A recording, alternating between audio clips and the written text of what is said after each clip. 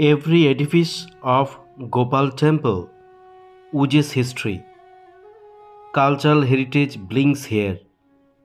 In addition to that, the temple is full of religious tranquility. Gopal Mandir is situated near Siddheshwari Kali temple. It is a wonder in terracotta art.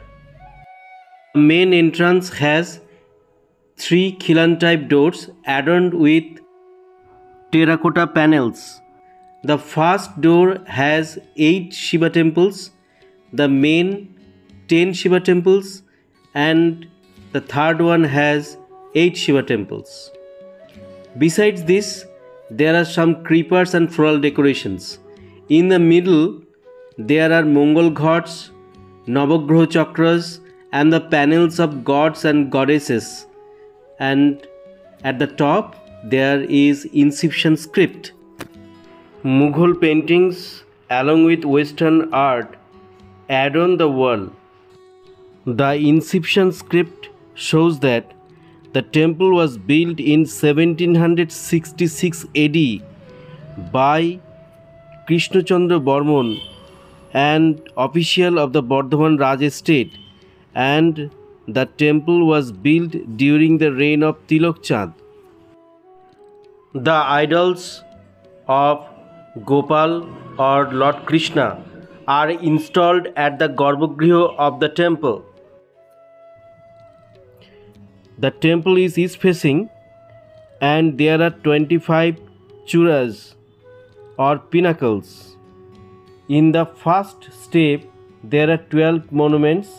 The second step is having 8 monuments, and the third step contains 4 and topmost is having one bigger monuments togetherly 25 foreigners throng here to have the glimpses of bengal terracotta wonders. All the panels are full of terracotta works now just have a glimpse of the terracotta wonders of gopal mandir here you can see some glimpses of erotica. Most of the terracotta panels are lost to time, but the few that are still existing that can make you wonder. On the wall, we may find terracotta works or models empaneled like dancers, musicians, companions of Radha in Krishna Lila, lotus floral decorations, and the glimpses of war.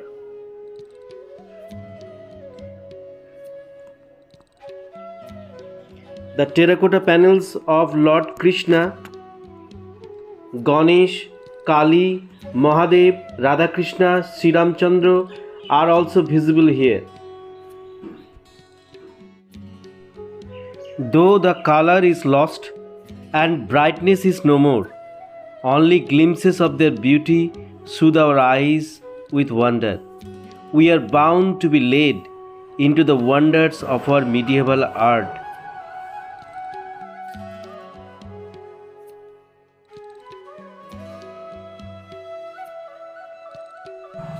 Gopal Mandir is not only a temple. Here we have artful blending of religion and culture. It is an epitomization of secular religious culture.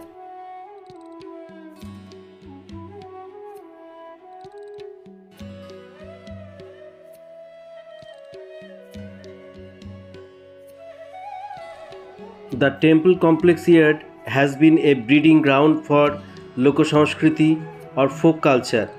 Jhulan Jatra, Jatra Utsav, attracted people from all sections.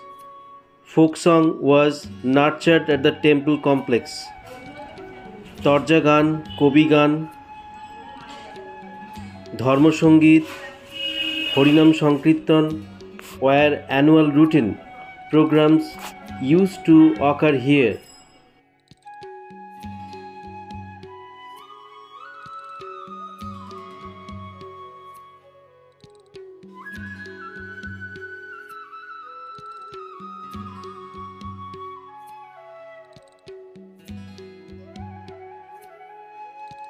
Not only that, Janmashtami is held here with pomp and grandeur.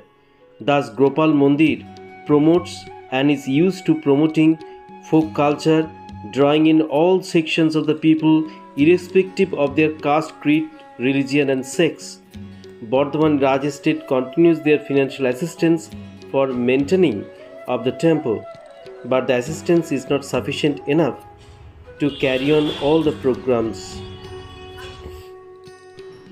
This is Ras Mancha it is situated by the side of Gopal Mandir during Ras Utsav the deity of Gopal is install here for observing the utsav